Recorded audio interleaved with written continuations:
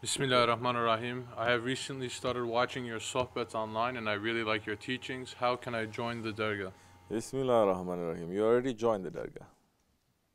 If you like to be with us, we like to be with you. You like to be with us, you're already with us. And we're with you. What else is there? So many people, they are with us, but they don't really like us too much. or one day they're going to like, next day they're going to feel fed up. The dargah is where you're going to find out the value and the truth and whether your faith is authentic or not. You know, authentic, original.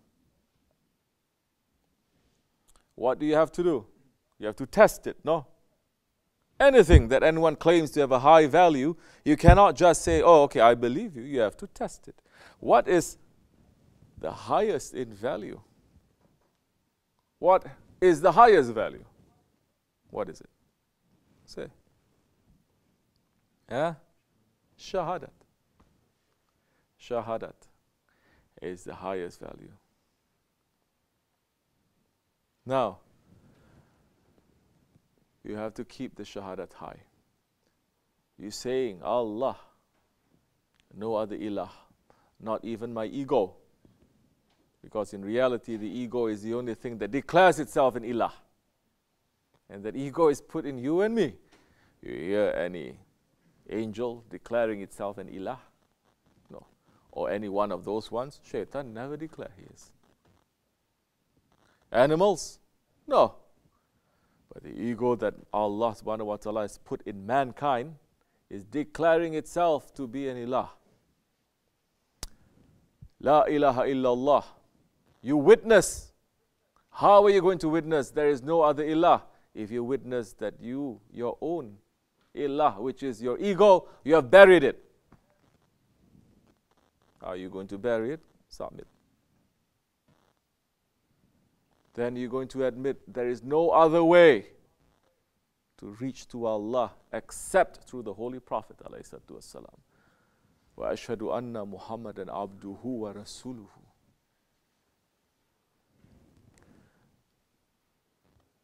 Then that time you will test your shahadat. You test your shahadat, you test your faith, whether it is authentic or not, by coming to the dargah. Sitting, understanding, learning, and then you're going to get washed up. You're going to get knocked up wall to wall. You know, so many things. If you want to test, you have to put something stronger than what it is to test it, correct? Same thing with us. You want to test your shahadat strongly. There has to be some polishing of our shahada to remove the ego from it. So, you want to join the dargah? Welcome. If you like us, welcome. The reality is you don't like me, you like our Shaykh. The reality is you don't like my teachings, you love the teachings of our Shaykh.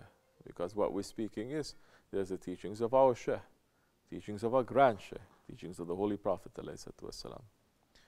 So, welcome to you.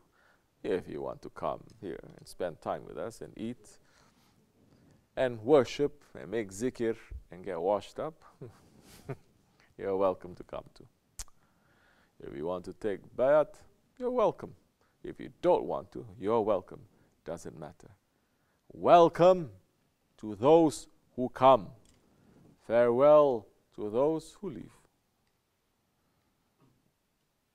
We're not going to force people to come. We don't kick them to leave. But if they leave, we're not going to say, Why are you leaving? You must stay. No. Inshallah Rahman. May it be easy for you. Assalamu alaikum.